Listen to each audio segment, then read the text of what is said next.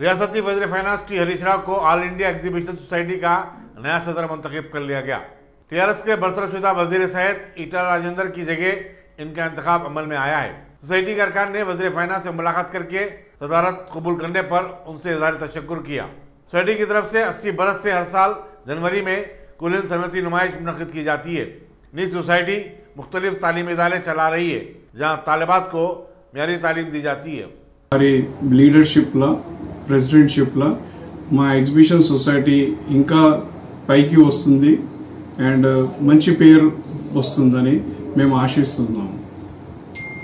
అంటే ముఖ్యమంత్రి గారికి మేము లేఖ రాశాము. శ్రీ ఇటెల రాజేందర్ గారు రిజైన్ చేసినాక మేము లేఖ రాసినాము. అండ్ మేము రిక్వెస్ట్ కూడా చేశాము. కి మాకు ఒక ఇది క్యాబినెట్ ర్యాంక్ మినిస్టర్ కావాలి. మా ప్రెసిడెంట్ పొజిషన్ కోసము. అందువల్ల మాకు శ్రీ హరీష్ రావు గారు యాక్సెప్ట్ చేశారు. Sir. Kamala Nehru polytechnic for women మీ అందరికీ తెలుసు. మేము నైన్టీన్ సిక్స్టీ ఫోర్లో స్టార్ట్ చేశాము. అది Pandit Jawahar Lal Nehru prime minister of India foundation stone వేశారు. అండ్ ఇనా కాలేజ్ ఇనాగ్రేషన్ ఈ పాలిటెక్నిక్ ఇనాగ్రేషన్ అది శ్రీమతి ఇందిరాగాంధీ చేసింది as a prime minister. And దానికి గోల్డెన్ జూబ్లీ సెలబ్రేషన్స్ కోసము శ్రీ రాజీవ్ గాంధీ మళ్ళా ప్రైమ్ మినిస్టర్ ఆఫ్ ఇండియా వచ్చారు. సో అది మాది first educational institution of exhibition society అది. అయితే ఆ ఆ జమాన్లో ఏమైందంటే గవర్నమెంట్ ల్యాండ్ ఇచ్చింది కమలా నెహ్రూ పాలిటెక్నిక్ అండ్ ఆ సంస్థ నడిపించడానికి మేము ఎగ్జిబిషన్ సొసైటీ ఫండ్స్ ఇచ్చి మేము ఆ బిల్డింగ్స్ ఇన్ఫ్రాస్ట్రక్చర్స్ అన్నీ కట్టాము. అండ్ మెయింటైన్ చేస్తా పో- పోయినాం ఇప్పటిదాకా. గవర్నమెంట్ ఏమో ఇది ఎయిడ్ ఇచ్చింది. టీచర్స్ టీచర్స్ కోసము. అది మ్, ఆ ఎయిడ్ వాళ్ళు రాను రాను రెడ్యూస్ చేశారు. టీచర్స్ ఎట్లనైతే రిటైర్ అయినరో రీప్లేస్మెంట్ ఇవ్వలేదు. मरकजी वजर सेहत व तहजीबी उमूर जी किशन रेड्डी ने अपनी जन आशीर्वाद यात्रा के चौथे दिन यदादरी भोंगिर की लक्ष्मी नरसिम्हा स्वामी मंदिर में हाजिरी दी। बादशाह मीडिया से बातचीत करते हुए उन्होंने कहा कि उन्हें ममलकती वजर दाखिला की हैसियत से दो साल खिदमत के दौरान कई अहम कवानीन बनाने का मौका मिला और वह बहुत कुछ तजुर्बा हासिल कर चुके हैं। उन्होंने तो ज़ाहिर की कि मुल्क में आइंदा साल जनवरी से सियाती सरगर्मियों का दोबारा आगाज़ हो जाएगा। हुकूमत यूनेस्को की तरफ़ से मौलाना चालीस, रूहानी और सियाती मराकज को तरक्की देने के लिए भी अहम इकदाम कर रही है। कायद मुखरना व रुकन असम्बली चंदन गुट्टा अकबरुद्दीन अवेसी ने अपने हलके के शादी मुबारक और कल्याण लक्ष्मी स्कीम्स के मंजूरा दरख्वास्त गुजारों में छः करोड़ दो लाख उनहत्तर हज़ार आठ सौ बत्तीस रुपये पर मुश्तमिल छः सौ छः चेक्स तकसीम किए। इस मौके पर तहसीलदार Bandaguda, Farheen Sheikh M R O का अमला मुतल कॉरपोरेटर्स के अलावा एम आई एम के एक्टिव मेंबर्स भी मौजूद थे। अकबरुद्दीन अवेसी ने इस मौके पर खिताब भी किया। आइए सुनते हैं। आपको ये बताना चाहूँगा कि आज से कई बरस पहले उन्नीस सौ निन्यानवे के इंतबात में जब मैं मजलिस मुस्लिमीन का उम्मीदवार बनकर मैदान में आया था, इंतखाबी मैदान में। तो उस वक्त मैंने आवाम से वादा किया था कि मैं इंतबात में अगर हिस्सा ले रहा हूँ तो इसलिए ले रहा हूँ कि मैं चाहता हूँ कि तालीमी पसमानदगी को दूर करूँ, माशी पसमानदगी को दूर करूँ और एक खुशहाली लाने की कोशिश करूँ। और मेरा वादा था आवाम से उस वक्त कि मुंतखब होने के बाद में जब तक 200 गरीब और उसमें से यतीम बच्चियों की शादियाँ नहीं करवा दूँगा उस वक्त तक, अपने कामयाबी का फूल नहीं पहनूँगा, ना जश्न मनाऊँगा। और मिलियन, मिलियनों के इंतज़ाम में मैंने और एक वादा किया था कि गरीब बच्चों के हाथों में किताब और कलम थमाऊँगा और उनके मासूम उंगलियों में कलम थमाऊँगा तो उनके मासूम खानों पर किताबों के बस्ते का बोझ डालूँगा। और अल्हम्दुलिल्लाह, अपने वादे पर आज भी काम कर रहा हूँ। और हर साल 200 गरीब और यतीम बच्चियों की शादियों का इंतज़ाम मेरी जानिब से, मेरी जात की जानिब से किया जाता था। फर्नीचर की दुकान का एक कार्ड दे, देता था मैं। वहाँ से फर्नीचर लाते थे और गरीब बच्चों की शादी का इंतज़ाम होता था। और मेरी कोशिश थी कि ये काम हुकूमत की जानिब से हो। तो मैं याद दिलाना चाहता हूँ कि मैं मजलिस मुस्लिमीन और मेरी खुद की नुमाइंदगी का नतीजा कि वायस राजशेखर रेड्डी के दौर में हमने इज्तिमाही शादियों का एक आगाज़ किया। फिर इज्तिमाही शादियों में लोग शर्मिंदगी महसूस करते थे कि इज्तिमाही शादियाँ, पचास शादियाँ हो रही हैं। सामान मिल रहा है, वहाँ पे आके बैठे हैं। तो उसके बाद फिर से मैंने असेंबली में नुमाइंदगी की और कहा कि इज्तिमाही शादियाँ नहीं होनी चाहिए, बल्कि शादियों का एक मसला है। गरीब लोगों का, चाहे हिंदू हो या मुसलमान हो, सिख हो, ईसाई हो, और शर्मिंदगी महसूस होती है कि इज्तिमा में इज्तिमाही तौर पे आके बैठने पर नहीं बैठना चाह रहे हैं। आप इसको इनफरादी तौर पर उनकी इमदाद कीजिए। और मजलस इत्तेहाद मुस्लिमीन की नुमाइंदगी पर ऐवान असम्बली में तेलंगाना की तश्कील के बाद के चंद्रशेखर राव साहब का मैं शुक्रिया अदा करूँगा कि उन्होंने हमारे मुतालबे को कबूल करते हुए शादी मुबारक व कल्याण लक्ष्मी का ये स्कीम का आगाज़ किया। और जिसकी वजह से हज़ारों नहीं बल्कि लाखों गरीब बच्चियाँ जो घरों में बैठी रहती थी, माशी परेशानी की वजह से जिनकी शादी एआईएमआईएम जनरल सेक्रेटरी व एमएलए याकुतपुरा सैयद अहमद पाशा खादरी ने AIMIM corporators Yakutpura assembly constituency के साथ गार्डन प्लाजा संतोष नगर में Hyderabad water work safety awareness programme में शिरकत की।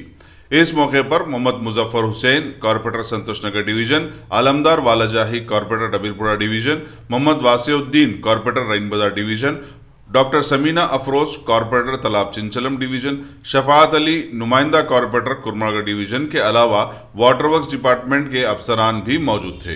पैसे वाले लोग यहाँ से कहीं भी मुंतकिल हो जाते, बीमारी खत्म हुई बात से आते लेकिन ये एक ऐसा माहौल था कि किसी भी हिस्से में जाओ, ये बीमारी पीछा पकड़ी थी।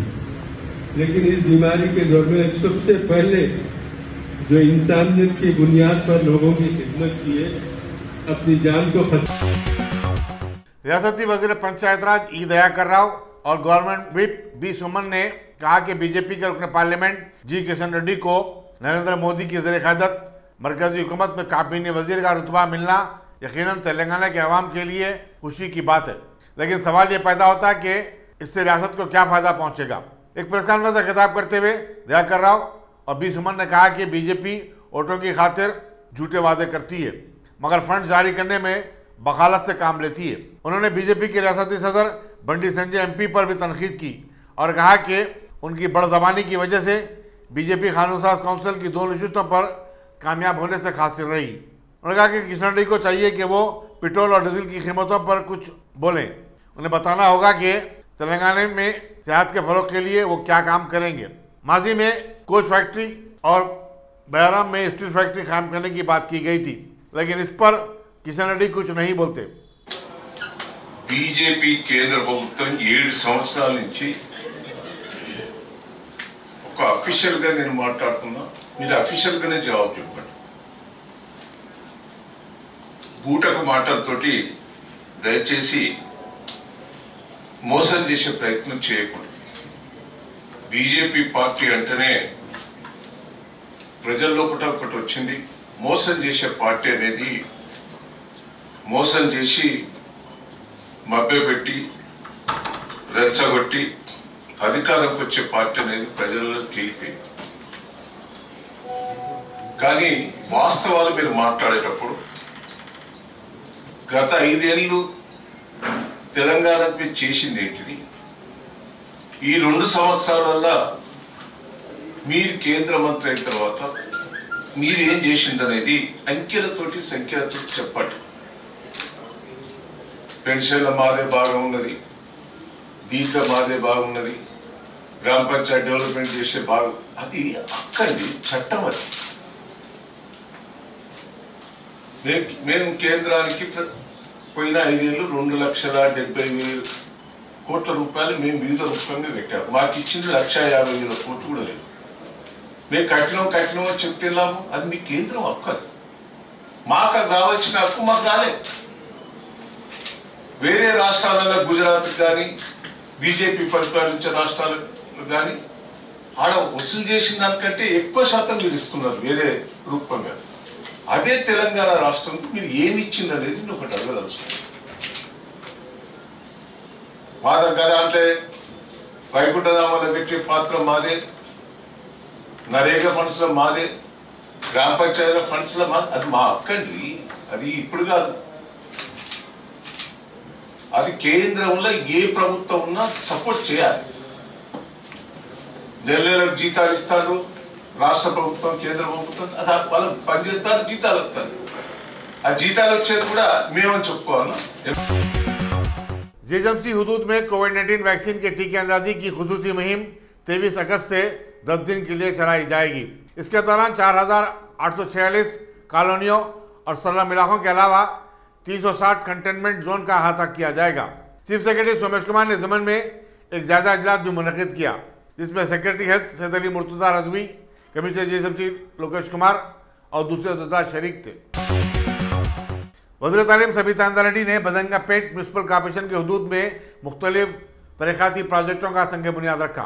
जिसमें महेश्वरम के छह डिवीजन में तीन करोड़ पचहत्तर लाख रुपए के जारी काम भी शामिल हैं उन्होंने कहा कि उनके हलके में एक सुपर स्पेशलिटी हॉस्पिटल भी कायम किया जाएगा పార్యాద నరసింహారెడ్డి గారితో పాటు గౌరవ కార్పొరేటర్స్ అందరూ కూడా డిప్యూటీ మేయర్ గారు ఇబ్రాహిం శేఖర్ గారితో పాటు గౌరవ కార్పొరేటర్స్ అందరూ కూడా అటెండ్ కావడం జరిగింది వారితో పాటు ఈరోజు ఈ కార్యక్రమంలో పాల్గొన్న దీపికా శేఖర్ రెడ్డి గారు అదేవిధంగా స్వప్న వెంకటరెడ్డి గారితో పాటు రామరెడ్డి ఆ, మిగతా సోదరులందరూ కూడా చాలామంది సోదరులు ఉన్నారు. కృష్ణ కార్పొరేటర్ గారు ఆ, గారు మిగతా యల్మాస్ కూడా సంబంధించిన కార్పొరేటర్స్ గౌరవ కార్పొరేటర్స్ అందరికీ కూడా వారికి ధన్యవాదాలు చెప్తా ఉన్నాను. దాదాపు ఈరోజు మూడు కోట్ల డెబ్బై రెండు లక్షలకు సంబంధించిన వర్కులు ఫౌండేషన్ వేయడం జరిగింది.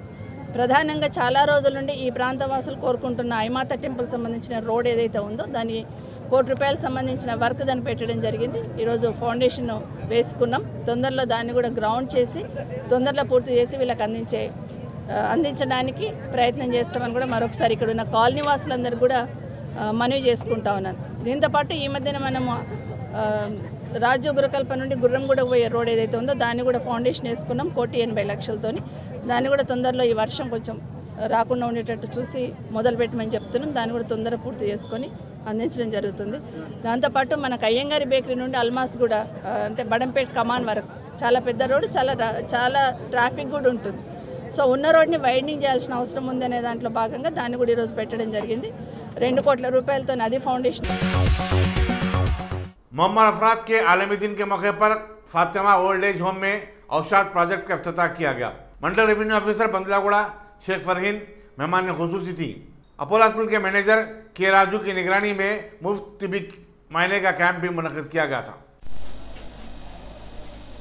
आज Fatima old age home Jangammet Bandlaguda mandal के अंदर अपोलो बिलियन हार्ट फाउंडेशन के तरफ़ से वो लोग अपने जितने भी इनमेट्स है ऑलमोस्ट 50 प्लस इनमेट्स यहाँ पर है उनके लिए free medical checkup free medical aid और अगर ज़रूरत पड़ने से उनको आ, जो सुपर स्पेशलिटी हॉस्पिटल से स्पेशलिस्ट कंसल्टेशन के लिए भी यहाँ पर भिजाकर ये लोगों की सेहत के लिए, ये देखभाल के लिए इन्होंने एक प्रोग्राम चॉकआउट किया है।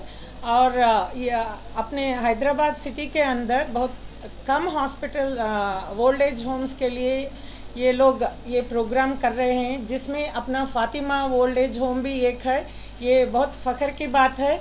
और मेरे को बहुत बेहद खुशी हुई यहाँ पर मैं फ्रीक्वेंटली विज़िट करती हूँ और जितना अच्छा देखभाल वासिफ भाई और उनके मिसेस जो करते हैं मुबीना तो यहाँ पर इनमेट्स भी इतना खुश है कि मेरे ख्याल से वो अपने लोगों के पास भी इतना खुश नहीं थे। इतना खुश यहाँ पर मैं उनको देखती हूँ और मेरे को यहाँ पर आने से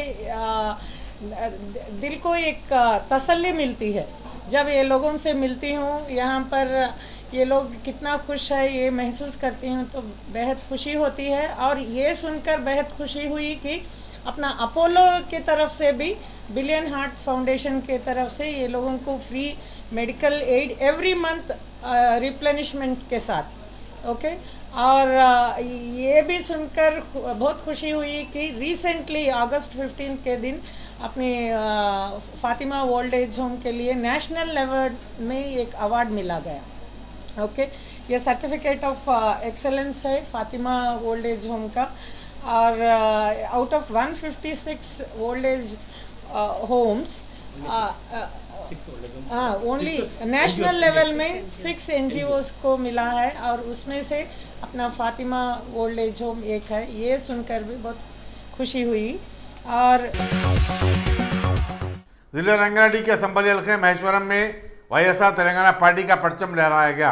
पार्लिमानी हल्के शेवल्ला के कन्वीनर पी वेणुगोपाल रेड्डी ने मंदा मल्लम्मा चौरास्ते पर परचम कुशाई की रस्म अंजाम दी।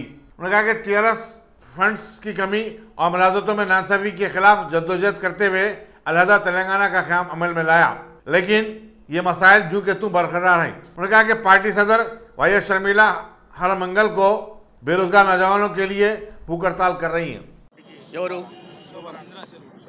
ప్రజ ఇప్పుడు కార్యకర్తలు వస్తుంటారు పోతుంటారు కార్యకర్తలు వస్తుంటారు పోతుంటారు ఇది రాజశేఖర్ రెడ్డి గారి ప్రజా సంక్షేమ పాలనకు అద్దం కట్టేటటువంటి పార్టీ ఇప్పుడు మేము ముప్పై సంవత్సరాల నుంచి పార్టీలో ఉన్నాం.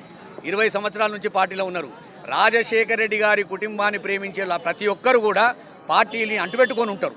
ఎవరైనా రాజకీయ ఉద్దేశంతో బ్లాక్మెయిలింగ్ చేయాలన్న ఉద్దేశంతోటో ఇంకే ఉద్దేశంతో అన్న పార్టీలకు వచ్చి వాళ్ళు వెళ్ళిపోతే వాళ్ళ గురించి ఆలోచించవలసినటువంటి అవసరం వైఎస్ఆర్ వైఎస్ఆర్టీపీకి లేదు.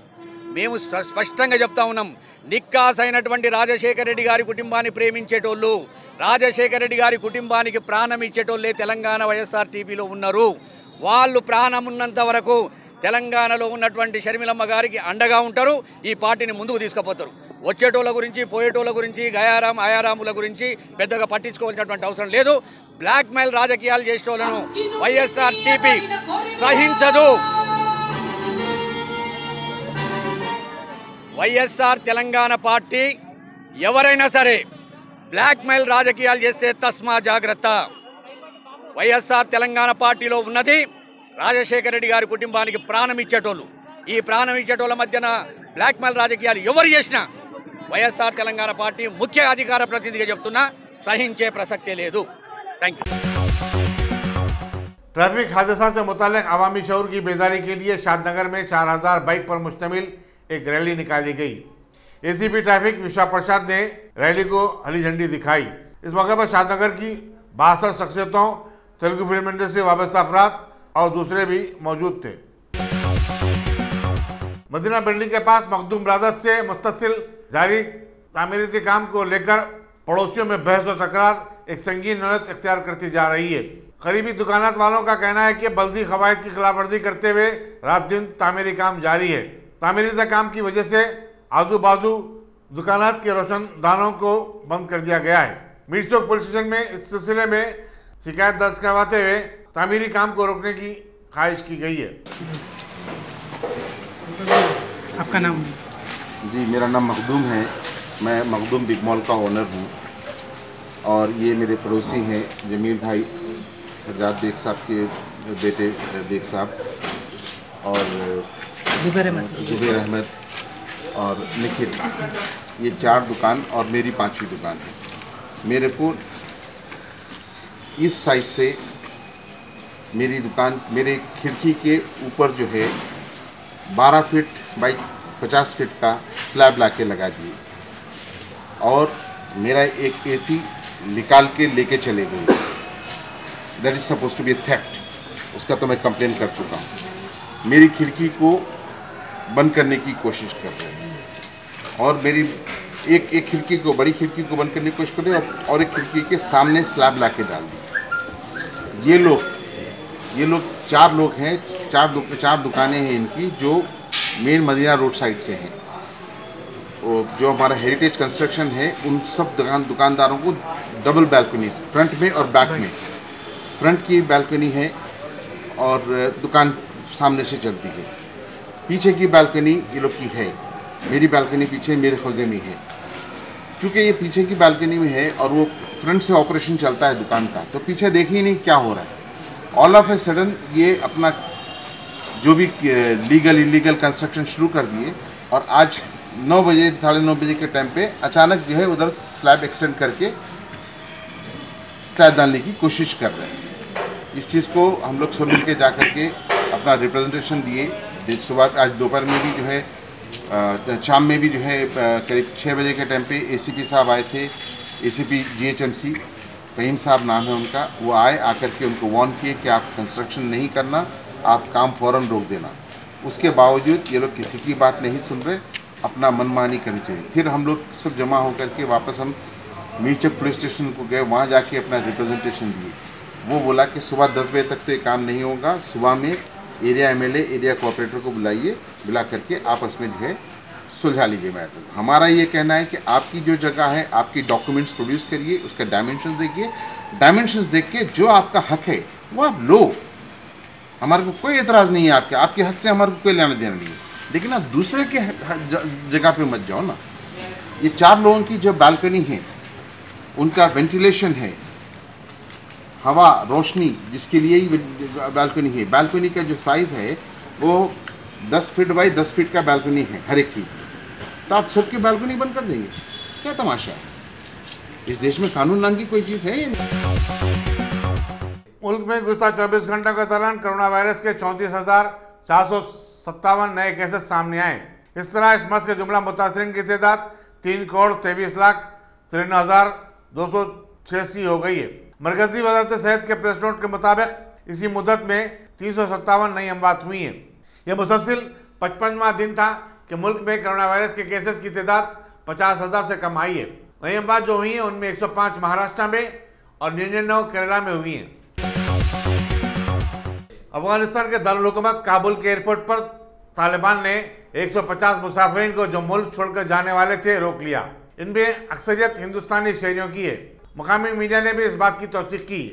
खबरों में बताया गया कि तालिबान सुबह सुबह हामिद करजई इंटरनेशनल एयरपोर्ट पहुँच गए और इन सब का अगवा करके उन्हें मशरकी काबुल के इलाके तरकाहुल लेके चले गए। इसी दौरान तालिबान के अहदेदार ने किसी बैरूनी शहरी के अगवा की तरदीद की और कहा कि बाज अफराद को जो अफ़गानिस्तान छोड़ के जा रहे थे, रोककर पूछताछ की जा रही है। बहत्तर सिखों और हिंदुओं को जो इंडियन एयरफोर्स के तैयारी में सवार हुए थे, तालिबान ने रोक लिया। जबकि पचासी मुसाफरीन के साथ एक दूसरा तैयारा काबुल एयरपोर्ट से टेक ऑफ़ कर गया। इसी दौरान अमरीकी शहरियों के अफ़गानिस्तान से इनखला का सिलसिला भी जारी है।